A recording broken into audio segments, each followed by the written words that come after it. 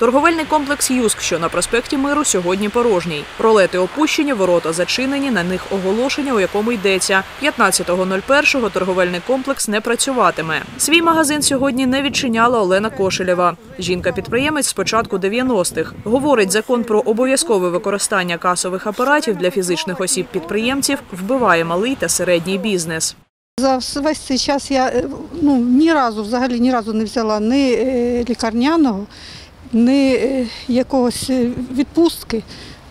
Все время працювала і кожен місяць сплачувала податки державі. А тепер от таке до нас відношення. Чоловік Олени Кошелєвої поїхав на мітинг до Києва. Підприємиця говорить, сподіваються, що народні обранці почують фопівців та розглянуть альтернативні законопроєкти 5866 та 5866 дріб 1, які роблять бізнес прозорим для влади, але не передбачають використання касових апаратів або програмних реєстраторів розрахункових операцій.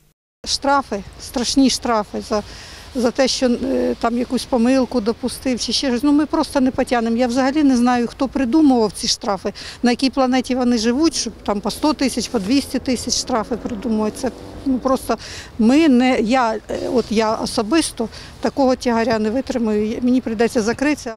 Закон про обов'язкове використання касових апаратів для ФОПів набрав чинності з початку 2022 року. Він стосується переважно підприємців другої та третьої груп, продавців, таксистів, екскурсоводів, перукарів тощо. Усі ці розрахунки мають бути фіскалізованими, тобто покупець має отримати чек. За оцінками поліції діалогу під радою перебувало близько тисячі мітингарів.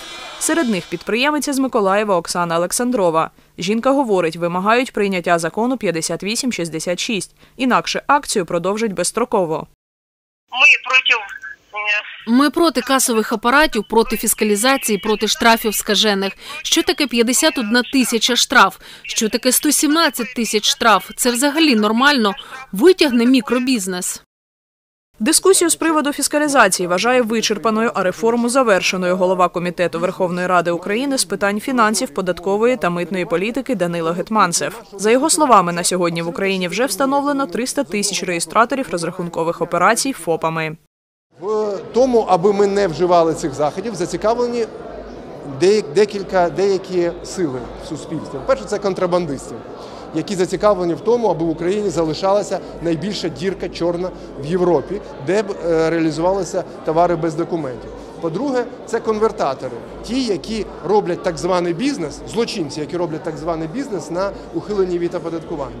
Е, Третє це е, абсолютно популістичні, безвідповідальні політики, які підтримують їх, заробляючи політичні, а іноді і не тільки політичні дивіденди на цих протестах.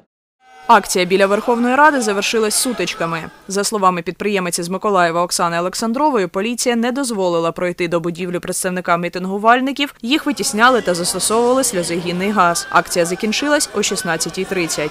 Валентина Гурова, Юрій Руденко. Новини на Суспільному. Миколаїв.